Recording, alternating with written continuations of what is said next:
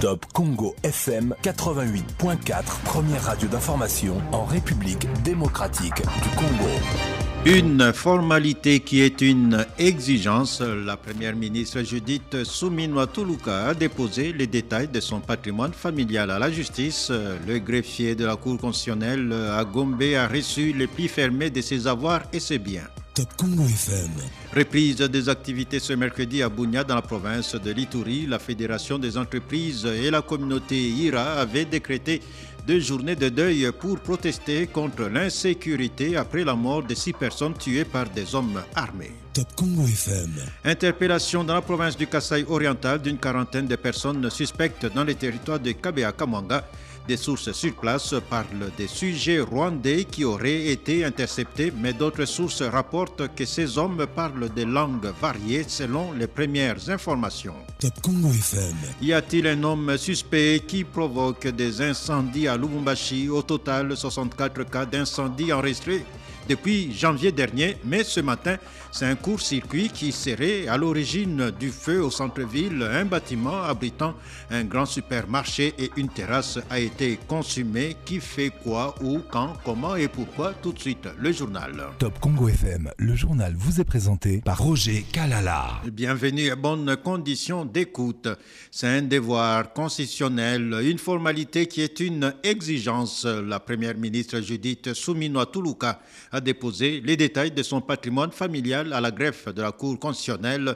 La première femme chef du gouvernement rassure qu'elle fera le même exercice à la sortie de ses fonctions et pour elle, c'est une façon de rassurer que tous les citoyens, quel que soit leur rang, sont soumis à la loi. Écoutez Judith Souminois au micro de Dieu merci Loussa Koumonou. C'est le premier fait de remplir euh, mon devoir euh, tel que le veut la Constitution en tant que euh, chef du gouvernement, mais ça permet aussi de démontrer euh, cette volonté de, de transparence, euh, qu'on puisse montrer euh, que tout soit transparent en fait, que tout ce que je possède aujourd'hui au niveau de la Cour constitutionnelle, ils vont être au courant. Et demain, le jour où je partirai, en toute transparence aussi, je ferai l'exercice de venir euh, déposer ce que j'aurais eu à acquérir au cas où pendant cette période-là. Et au moins, ça permet de démontrer que tout citoyen, quel que soit le le niveau où il se trouve, doit respecter euh, la loi, doit respecter la Constitution. Je pense que ça, c'est un élément important. Bien sûr, les ministres vont avoir à le faire. Comme le veut la Constitution, euh, c'est un devoir que nous devons faire dans les 30 jours de notre investiture, donc de notre prise de fonction. Et donc, les ministres, on a été investis le, le 12 juin aux petites heures. Donc, les ministres, la majorité ont déjà préparé leur euh, déclaration de patrimoine familial et ils auront à les déposer d'ici à, je pense, jeudi ou plus tard. La première ministre Judith Souminois au micro de Dieu merci Loussa Koumonou. Pendant ce temps, c'est la polémique à l'UDPS pour ou contre la restructuration et la convocation d'un congrès. Le sénateur Afani Idrissa Mangala rejette, lui, l'idée du député national Eteni Longondo qui a écrit au secrétaire général pour revoir un peu la gestion du parti au pouvoir après les élections. Pour lui, le moment n'est pas opportun. Il estime que cette bataille risque de déstabiliser leur parti ainsi que l'autorité de référence, le président Félix Tshisekedi. Écoutez le sénateur Afani Idrissa Mangala au micro de Rémi Moulingati. Moi, comme du parti, clairvoyant, révolutionnaire, patriote et conservateur du pouvoir, je condamne cette attitude euh, de l'ex-secrétaire général adjoint, l'honorable Eteni Longondo. Ce n'est pas le moment approprié d'attaquer celui qui dirige le parti.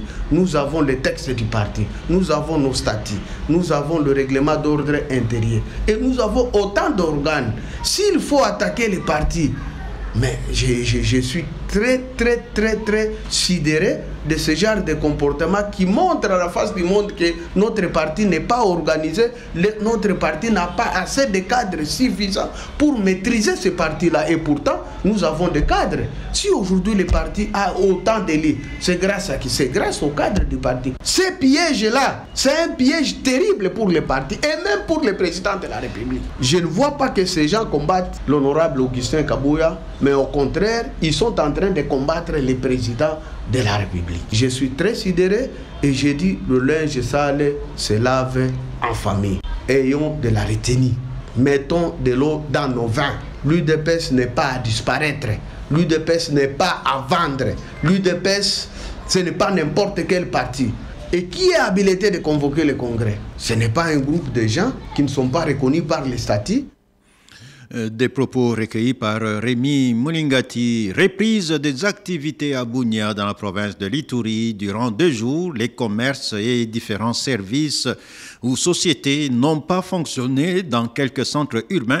La Fédération des entreprises et la communauté IRA avaient décrété deux journées de deuil pour protester contre l'insécurité. C'était après la mort de six personnes tuées par des hommes armés. Les activités académiques à l'ISTEM Bounia étaient suspendues parce qu'un étudiant de cet établissement a été tué parmi les victimes. Détail Franck Assanté. À l'espace de 48 heures, six personnes lâchement bâties dans une ville comme Bounia, sous un état de siège, frise les esprits de Bougnatrop, rapporte Kakule Kaliomo, député national élu de cette ville, qui appelle les autorités compétentes à jouer pleinement leur rôle, celui de protéger la population et ses biens. Ici, il y a lieu que les dispositifs sécuritaires soient renforcés de manière à éviter les drames de ce genre à l'avenir. Je m'avais interpellé les autorités de l'état de siège à privilégier l'option militaire face à la situation sécuritaire, car la voie non violente a démontré ses limites. Du côté des autorités sécuritaires,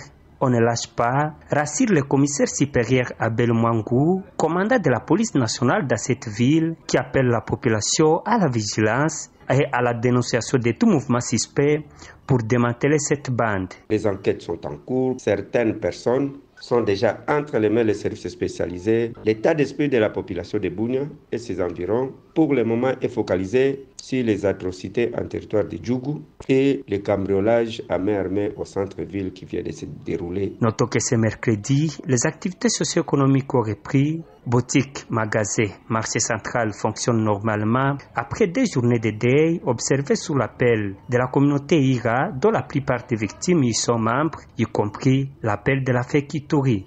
Bounia Franca Top Congo FM.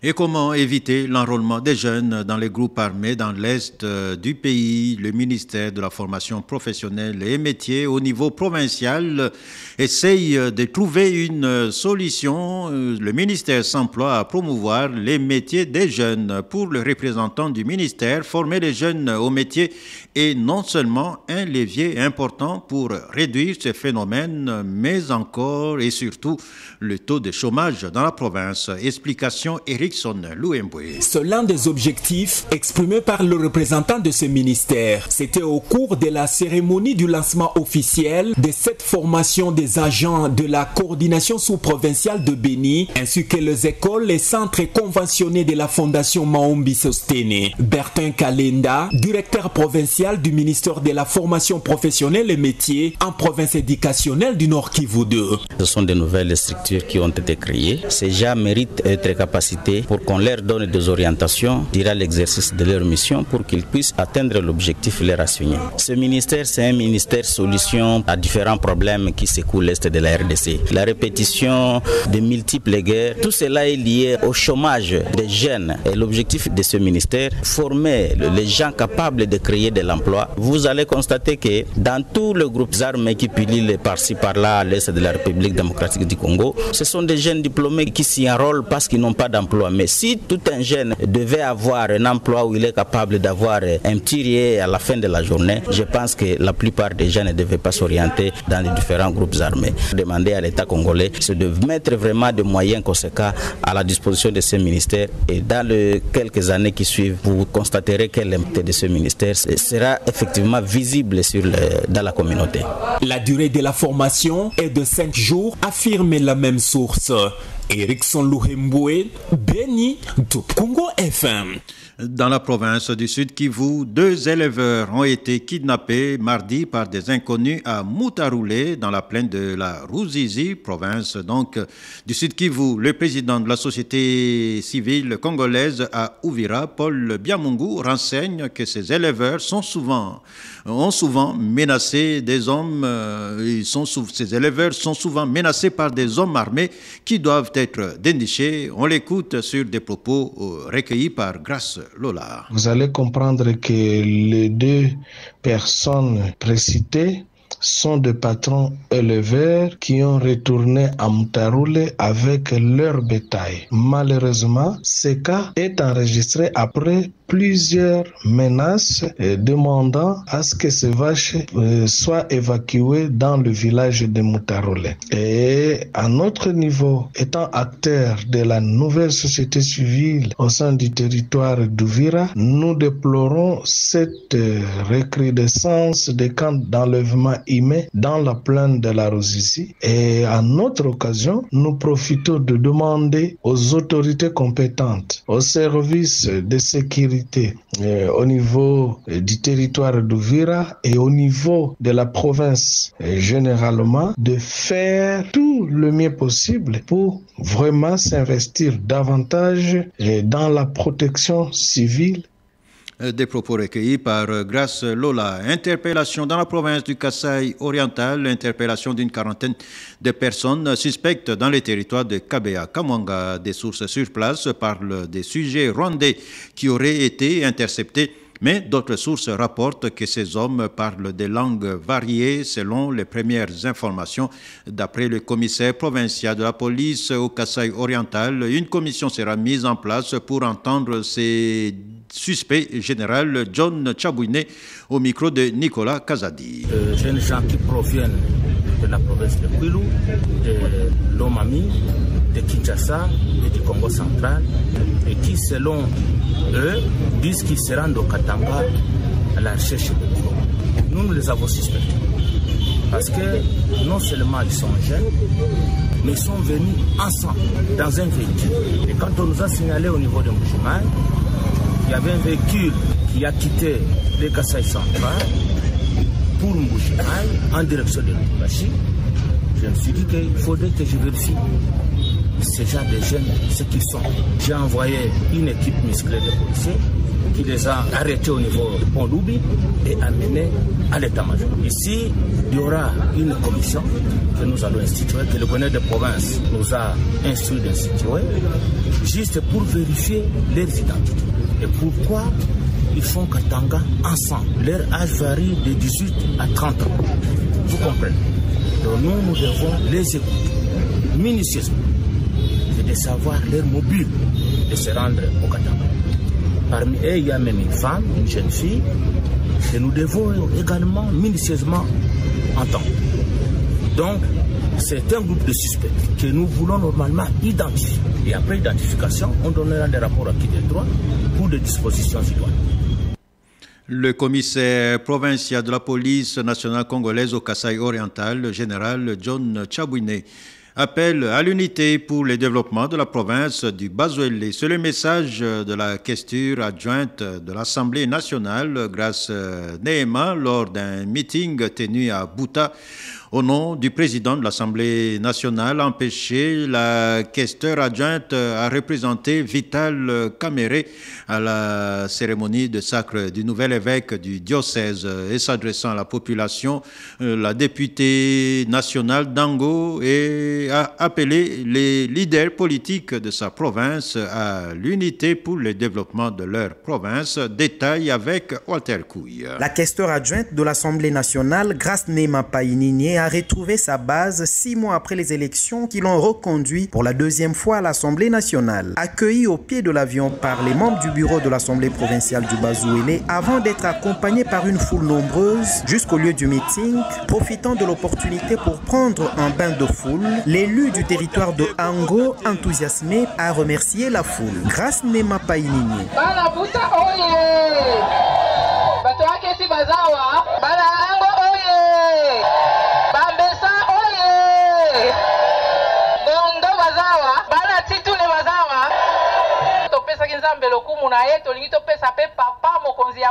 Nous avons commencé par dire merci à Dieu par le chef de l'État, Félix Tshisekedi, et la pensée au Bawele en faisant de telle sorte que notre région soit dans les grandes institutions du pays. Égrenons un à un tous les problèmes de sa région, l'insécurité, l'impraticabilité des routes, la pauvreté, la questeur adjointe de l'Assemblée nationale a adressé un message de l'unité grâce Nema Paininier. Mes frères et sœurs, le progrès nécessite toujours l'entente au-delà de l'appartenance politique de chacun. Une seule cause nous unit ici, c'est le Bawele. Tous soyons unis pour mieux bâtir le Bawele. Je demande à tous les acteurs politiques de promouvoir l'unité entre nous tous. Je remercie le gouverneur de province, ma grande sœur Carole Aguito et tous ceux qui ont beaucoup fait pour notre province.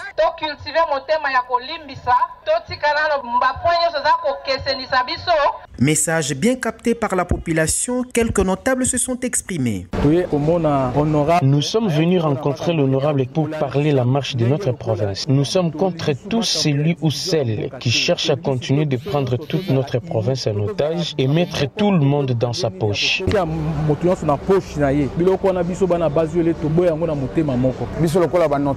Comme notable, nous avons demandé à Madame la questeur adjointe de l'Assemblée nationale de ne pas abandonner cette province. Son mot se fera entendre dans les oreilles des plus hautes autorités.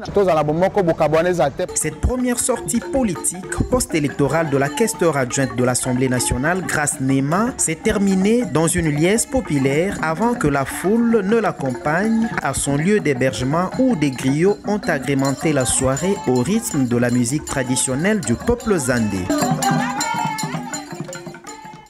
Il a annoncé la fin des détournements des biens dans la province. C'est le gouverneur du Kassai, Crispin Mukendi Boukassa, le chef de l'exécutif provincial, a invité tous ceux qui ont des biens de la province de les retourner pour le gouverneur Mukendi. Leur a sonné pour développer le Kassai. Correspondance Fabien Gouesch.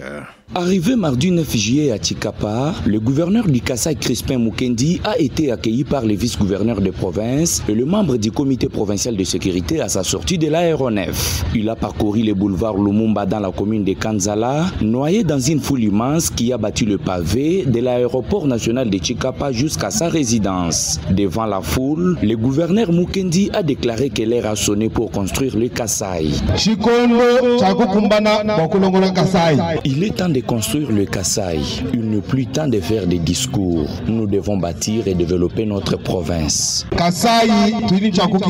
Il a par ailleurs annoncé la fin des détournements des biens de la province. Tout enfant du Kassai qui a un bien de la province doit les retourner et toutes les recettes doivent entrer dans un seul compte de la province, a-t-il déclaré. Le gouverneur Mukendi a aussi annoncé le début de plusieurs grands travaux, notamment la construction de l'aéroport national de Chikapa et promet de suivre l'évolution des travaux de construction de la route Chikapa-Kandiaji. Nous avons déjà l'argent pour la construction de notre aéroport. Les jours suivants, le ministre des Infrastructures viendra ici pour lancer les travaux. La route Chikapa-Kandiaji sera bientôt asphaltée. Il a promis de s'impliquer pour l'amélioration des conditions sociales de la population de sa province et annonce une descente dans tous les chefs-lieux des territoires d'Ikassai. Chikapa, Fabien Wesh, Top Congo FM. Un document qui explique en détail toutes les procédures à la douane, mais également la législation. Il s'agit des hyper-guides pour les agents douaniers en RDC. Le directeur de cabinet du président de la République a remis officiellement ces outils au directeur général de la DGDA pour qu'à son tour, il sensibilise ses agents et cadres pour le changement des mentalités, mais aussi éradiquer la fraude. Témoin de l'événement, Rémi Molingati. Ces hyper-guides douaniers constituent une boussole de prévention et de lutte contre la fraude et du changement de mentalité. Antonin Kinzo est directeur de cabinet du président de la République. Les hyper-guides que nous recevons aujourd'hui sont bien plus que de simples outils pédagogiques. Ils sont conçus pour être des manuels de référence essentiels pour les agents de douane, qui leur fournissent des directives claires et précises pour orienter leur conduite et prévenir tout risque de fraude et de coulage des recettes publiques, en renforçant les capacités de nos fonctionnaires et en promouvant une culture de transparence et d'efficacité. Cette campagne que je lance au nom du président de la République, chef de l'État et commandant suprême est un appel au changement de mentalité, une invitation à l'armement moral du douanier afin de l'encourager à être davantage un agent de changement dans son secteur et de mobilisation accrue de recettes publiques pour le bien commun. Prenant la parole, le directeur général de la Direction générale des douanes et axes s'est engagé à vulgariser ces documents pour son appropriation par les agents afin de donner à l'État congolais les moyens de son action. Bernard Kabese Moussangou. Nous allons nous engager avec euh, la haute direction à pouvoir tout mettre en œuvre pour la sensibilisation, pour la vulgarisation, non pas seulement euh, de manière euh, théorique, mais que les gens puissent s'approprier et vivre au quotidien de manière professionnelle les valeurs d'éthique, de citoyenneté, pour que demain, aujourd'hui et demain bien sûr, nous puissions donner au gouvernement de la République les moyens de son action pour conduire les affaires de l'État. Et... Notez que le directeur général de la DGDA en a profité pour remercier le président de la République et toutes les autorités du pays pour leur accompagnement aux actions de la douane. Suspension de la correction des épreuves de fin d'études primaires et NAFEP dans la province éducationnelle du Haut-Ouélé 1 à Isiro. Les intervenants en colère réclament le paiement de 10% des frais de correction. En outre, ils accusent l'inspecteur principal provincial d'avoir détourné les fonds alloués à cette euh, opération. Bienvenue Landou Kubulana rejette ces allégations Correspondance euh, Alain Panguimo. C'est au cinquième jour des travaux que les correcteurs de l'épreuve de fin d'études primaires ENAFEP ont suspendu la correction des épreuves dans la province éducationnelle du Haut-Ouélé 1 à Isiro. Ils réclament toutefois le paiement de 10% des frais de correction, accusant ainsi l'inspecteur principal provincial Bienvenu Landou Kubulana d'avoir détourné la somme destinée à cette fin, explique Winston Buundu, l'un des correcteurs et porte-parole des circonstances correcteur des épreuves certificatives de l'ENAFEP édition 2024, dénonçons avec dernière énergie la cupidité de l'IPP Otouélé 1 pour le détournement de 10% destinés à l'appui de l'ENAFEP 2024. Nous suspendons les activités de la correction jusqu'à nouvel ordre. Nous demandons l'implication des autorités tant provinciales que centrales pour les bienfaits de nos enfants, qu'on puisse nous restituer l'argent que l'IPP a pris. Notre secteur de l'éducation a été toujours marginalisé. Contacté par Top Congo FM, IPP Bienvenue Lando Kubula cité dans le détournement de ses fonds s'explique en ces termes. Cet argent, ce n'est pas seulement pour la correction, mais c'est pour les activités de l'ENAFEP. Vous prenez quelqu'un qui a un bureau, vous l'envoyez à Niamara, sans carburant. Qui va acheter le carburant avec quoi? Nous faisons la péréquation. Parce qu'il y a des sous-divisions qui n'avaient pas assez d'argent si on a pris 5 millions à Isiro, tous les 5 millions doivent être dépensés pour Isiro. Non, non, c'est pour la province. Depuis la ville d'Isiro, Alain Panguimo, Top Congo FM. Dans la province du Kwilu, fin du conflit entre les fermiers et la société Cap Congo sur l'exploitation du site agricole de Mouchipintane. Euh, les fermiers ont accepté de libérer les terrains, cela conformément au protocole d'accord de 42 000 hectares signé entre la province et la société. En revanche, Cap Congo accepte d'indemniser les fermiers dans un bref délai. La nouvelle est annoncée par le député national élu de Bandundu, Eric Kinzambi, qui a assuré la médiation entre les deux parties et précise euh, qu'il n'y a ni insécurité ni trouble à l'ordre public. Il a dit à Jonathan Messa. On vient de mettre fin au conflit qui opposait la société Cap Congo et le fermier. Toutes les parties soutiennent l'investissement de Cap Congo à Moshipentane. Nous voulons le développement de notre contrée, nous soutenons cet investissement. Les fermiers ont pris acte, ils doivent libérer les lieux pour que Cap Congo investisse, exploite. Et Cap Congo, de sa part, a accepté d'indemniser les fermiers au prorata de, son de ses hectares d'exploitation. Plusieurs langues ont distillé que ces protocoles d'accord seraient à l'origine de l'insécurité et même d'un conflit foncier. Avez-vous tablé sur la question? Euh, Les gens disent toujours, vous connaissez ce que disent les réseaux sociaux. Donc pour travailler, on doit, on doit vraiment suivre ce que les gens disent dans les réseaux sociaux. Moi, je viens de Mouchipentan, j'ai vécu, je parlais avec le, le travailleur, ils me disent qu'ils sont dans de bonnes conditions. Seulement qu'au début, on avait envoyé des expatriés sur place qui ne connaissaient ni les Lingala, ni les Kikongo, les langues, les langues parlées sur place, ou même les Français, ils ne parlaient qu'anglais. Alors, cette difficulté de communication entre le dirigeant les travailleurs posaient problème. Mais là, on vient d'échanger, de, on a envoyé des autres expatriés qui parlent lingala et français. Le député national Eric Kinzambi au téléphone de Jonathan Messa. Dans la province du Haut-Katanga, y a-t-il un homme qui provoque des incendies à Lumumbashi Plusieurs cas de maisons détruites par le feu d'origine inconnue sont enregistrés depuis janvier au total, 64 cas d'incendie après les trois cas signalés cette semaine. Mais ce matin, c'est un court-circuit qui serait à l'origine du feu au centre-ville, selon David Bibou, chef de brigade anti-incendie dans la ville. Un bâtiment abritant un grand supermarché et une terrasse a été consumé.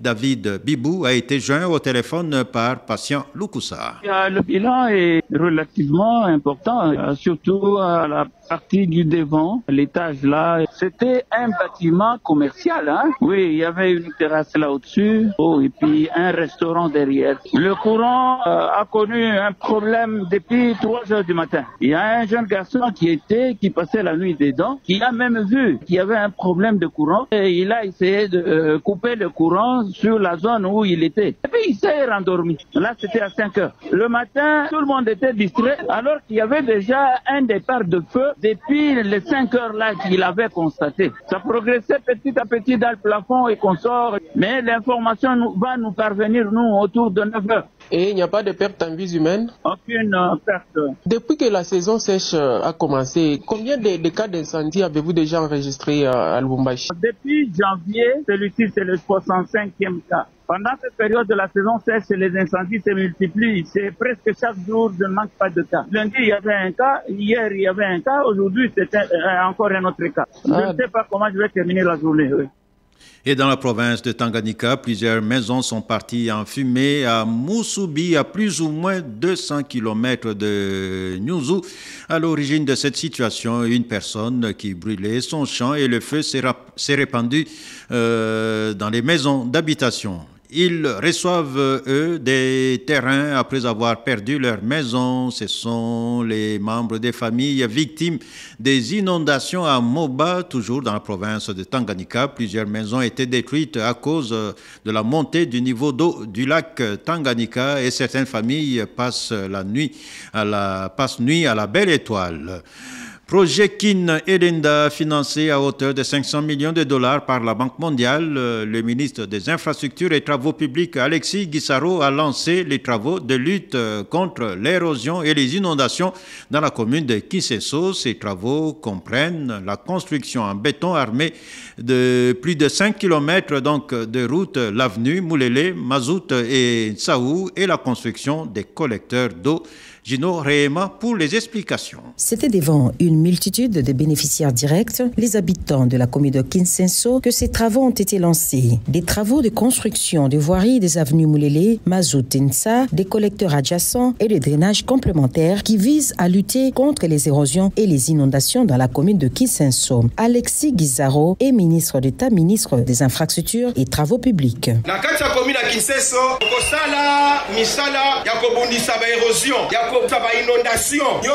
Kiseso, nous allons réaliser des travaux pour lutter contre les érosions et les inondations. Ces travaux prendront fin d'ici avril 2026. Puis nous allons construire les caniveaux et collecteurs pour l'écoulement des eaux. Ça sera ainsi la fin des érosions et des inondations. Il y a érosion à bout. À travers le projet Kinilinda, la commune de Kisenso va également bénéficier d'une desserte en eau potable ainsi que d'un réseau de distribution de cette eau. Le ministre Alexis Guizaro a ainsi appelé la population de Kisenso à protéger les nouveaux ouvrages qui seront construits par la maintenance et à travers le comportement responsable. Pour que votre commune change, pour bien mener vos activités économiques, il faut protéger les ouvrages qui seront mis à votre disposition. Nous ne voulons plus revenir sur ce qui est déjà fait. Rappelons que le projet Kinilenda, piloté par la cellule infrastructure, fait partie du plan quinquennal des infrastructures 2024-2028 du président Félix Tshisekedi et de son gouvernement avec comme partenaire la Banque mondiale.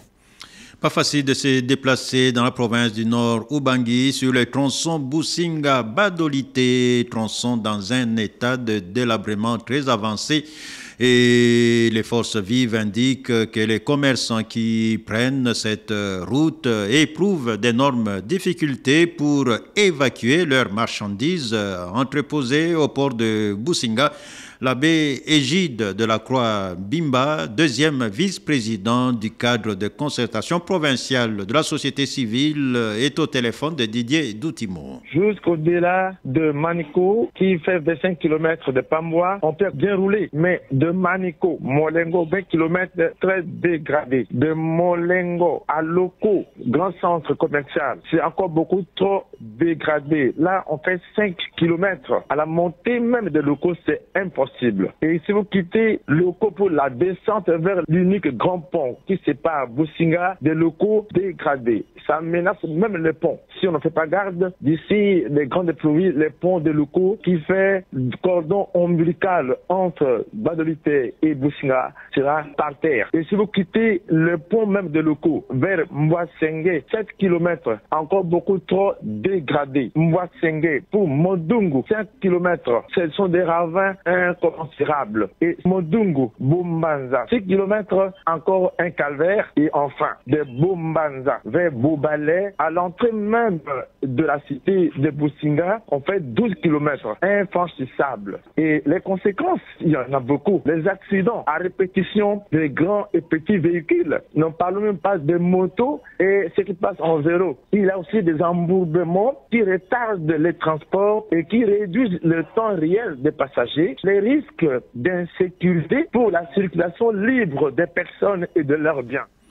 La conservation au service de la population, c'est ce à quoi s'emploie la société ERA Congo, filiale de WWC, grâce à l'implémentation du projet RED plus Maïndombe. Ce géant du domaine de vente de crédit carbone a réussi à faire du paiement des services environnementaux une réalité dans la province de Maïndombe.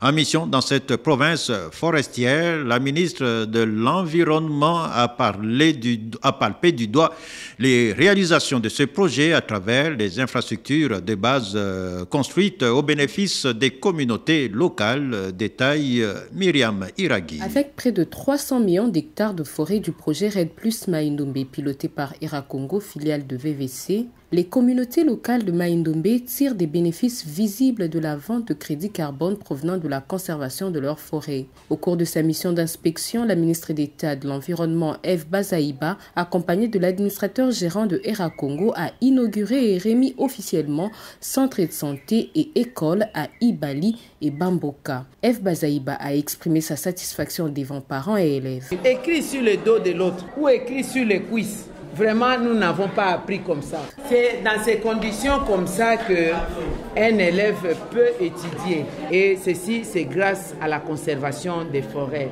qui nous donne en échange les fonds de crédit carbone et avec les fonds de crédit carbone, nous les transformons pour les ouvrages sociaux. Tout en saluant la première visite de la tutelle dans la concession de Era Congo, le professeur Jean-Robert Boangoy, âgé de la société, a expliqué la portée de cette matérialisation.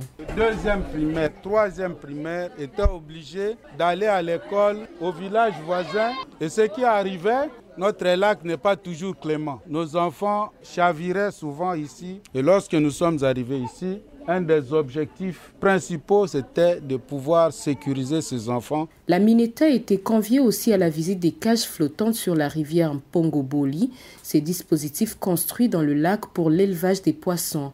Une première expérience réussie pour le projet Red Plus qui compte être dupliqué à d'autres endroits afin de repeupler le lac Maïndombe. Myriam Iragui, on pense à eux quand il y a une fuite d'eau quelque part dans une parcelle. on parle des plombiers, les plombiers à l'honneur à la régie des eaux. C'était au cours d'une journée spéciale organisée pour ces agents de la régie des eaux le mardi. Cette journée était aussi l'occasion pour honorer la mémoire du défunt directeur général Chongo Chibikubula Wantumba. Les plombiers venus des différentes provinces de la RDC, oui, ils ont effectué les déplacements. Ils ont rehaussé donc de leur présence à cette cérémonie. Pour cette première édition, l'accent est mis sur le cœur de métier. Le cœur de métier, c'est ce qui est dit. Plusieurs personnalités et particulièrement la famille de Chongo conduite par la veuve était donc présente. Détail, Cécile Gomba. Pour les DG de la Régie des eaux, David Chulumba Mutombo, cette journée est instaurée pour fêter l'agent Régie des eaux, particulièrement les vaillants qui ont passé plus d'années au sein de l'entreprise, mais aussi honorer la mémoire de l'ancien DG Chongo Chibikubulawantumba qui fut au début de sa carrière un plombier. Cette journée phare s'est inspirée du parcours professionnel très élogieux accompli par M. Chongo Chibikubulawantumba qui avait été engagé le 9 juin 1960 en tant que travailleur de la catégorie d'exécution et qui, grâce à sa ferme détermination et son attachement aux valeurs professionnelles de performance, avait su incarner ces valeurs et avait brillamment progressé dans sa carrière jusqu'à occuper durant plusieurs années plus tard les plus hauts, les plus hautes fonctions au plus haut sommet en tant que président délégué général de la Régie des OSA. De son côté, le PCA de la Régie des eaux, Alphonse Kisolokele, a reconnu l'importance du travail abattu par les plombiers au sein de leur entreprise. Sans la main du plombier, l'abonné Régie des eaux n'existait pas, a-t-il martelé. La main du plombier est celle qui passe et repasse en longueur de journée et de nuit sans s'arrêter sur le réseau pour résoudre tous les problèmes qui s'y posent en partant du refoulement des dessertes en passant par la résolution des fuites et le traitement des manques d'eau. Prenant la parole au nom des plombiers, Merveille Mouissa de la direction provinciale du Nord Kivu a salué l'organisation de cette journée en leur honneur. Et là, nous va tout droit au cœur pour les travailleurs et les membres de leurs familles respectives, il s'agit d'une marque de connaissance du travail et de multiples efforts que le veillant plombier ne cesse de fournir nuit et jour. La cérémonie a été couronnée par la remise des brevets à huit plombiers qui ont passé plus de 40 ans la régie des eaux. Un prix spécial à titre posthume sera également remis à la famille de l'ancien DG de la régie des eaux, Chongo Chibi Kula Wantumba. Reportage Cécile Ngomba Kazadi. La Sonal a totalisé, vous le savez, 40 ans d'existence et il y a eu un gagnant au jeu PMU qui a raflé 44 millions de francs congolais. Cagnotte mise en jeu le 5 juillet dernier. La cérémonie de remise de ce gros lot a eu lieu mardi au siège de la Société nationale de loterie pour l'administrateur délégué général Claude Solange Chibaka Yoa. C'est la satisfaction. Elle indique qu'après quatre décennies, la Sonal continue de faire de la population des millionnaires. On l'écoute au micro de Isabelle Moengo. Pour euh, paraphraser notre chef de l'État qui avait dit qu'il allait faire des Congolais des millionnaires. Voilà que la Sonal, en bon enfant, a suivi euh, les recommandations. Aujourd'hui, euh, tout le mois pratiquement, bien tous les deux mois, nous célébrons chaque fois un millionnaire. Voilà, c'est ça l'occasion qui nous réunit ici, tous ensemble. Nous sommes très contents parce qu'au jour d'aujourd'hui, nous avions appelé de tous neveux l'informatisation de la Sonal, ce qui est chose euh, faite au jour d'aujourd'hui. Maintenant, il nous reste d'aller dans les 145 territoires de notre pays. Et aussi, nous sommes maintenant sur euh, la diversification. Nous avions seulement un seul produit qui est euh, les, mais euh, dans très peu de temps ici, il va y avoir euh, le pari sportif parce que je sais que les Congolais euh, en majorité jeunes et ce sont les jeunes qui sont pris du sport. Et au-delà de ça aussi, nous avons ce projet en gestation du loto. Ça sera ce même loto là qui sera tiré sur l'étendue du Congo au même moment, à la même heure, à la même minute et le même résultat. Ça, c'était juste pour vous informer que nous sommes en train de moderniser la Sonal. Avec le concours de tout le monde ici, dans très peu de temps, nous allons avoir un nouveau narratif. Voilà. Des propos recueillis par euh, Isabelle Moengo, 32e anniversaire de la disparition de Joseph Diangenda Kuntima, fils cadet du prophète Simon Kimbangu et premier chef spirituel et représentant légal de l'église kimbanguiste. L'événement été célébré à la cité de Kamba, cité sainte, où il y a eu la participation de plusieurs invités. Les autorités politico-administratives ont pris part donc à cet anniversaire. Euh, Explication Merdicita. Cette journée inoubliable du 8 juillet, célébrée par les Kimbanguistes à travers le monde. En Kamba Nouvelle-Jérusalem, un culte en mémoire du bâtisseur de cette église a été organisé sous la hullette de sa divinité Simon Kimbangu Kiangani, chef spirituel et représentant légal de cette église. Un culte auquel assistent plusieurs fidèles et invités. L'on note parmi les invités pour cette première journée des festivités une forte délégation des investisseurs venus des quatre coins du monde, conduite par le docteur Farzam Kamalabali, fondateur et président du futur Throne Group, M.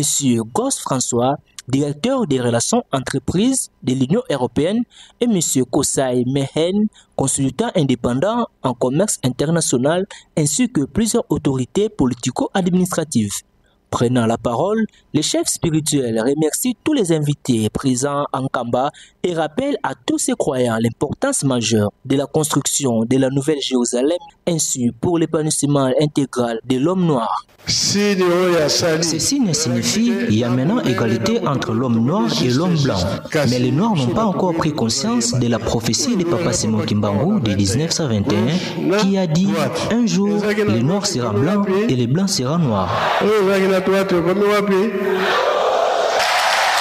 Matadi, Merdicita, Top Congo FM. Top Congo FM 88.4, première radio d'information en République démocratique du Congo. Notez pour l'essentiel de l'actualité une formalité qui est une exigence. La première ministre Judith Souminois a déposé les détails de son patrimoine familial à la justice. Le greffier de la Cour constitutionnelle à Gombe a reçu le pli fermé de ses avoirs et ses biens. Top Congo FM. Reprise des activités ce mercredi à Bounia, dans la province de Lituri. La Fédération des entreprises et la communauté IRA avaient décrété deux journées de deuil pour protester contre l'insécurité après la mort de six personnes tuées par des hommes armés. Top Congo FM. Interpellation dans la province du Kasaï oriental d'une quarantaine de personnes suspectes dans les territoires de Kabea Kamanga. Des sources sur place parlent des sujets rwandais qui auraient été interceptés, mais d'autres sources rapportent que ces hommes parlent des langues variées selon les premières informations. Top Congo FM. Et c'est la fin de ce journal qui porte les signatures de Isabelle Moengo, Cécile Ngomba, Osé Manzanza, Trésor Kiyombo, journal mis en onde par Jacques Zinga et réalisé sous la coordination de Mamichela. Vous nous avez suivis en direct sur YouTube euh, grâce à Pascal Kalambay, Didi Binsika, Dani Zayobi, Patrick Mungongo. Vivez en paix, toujours à l'écoute de Top Congo FM. 5 éditions, 18 bulletins d'information. Top Congo FM 88.4, première radio d'information en République démocratique du Congo.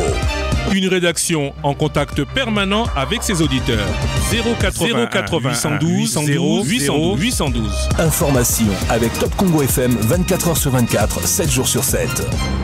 Ce Top journal Congo FM 88.4, la fréquence utile. Avec le programme des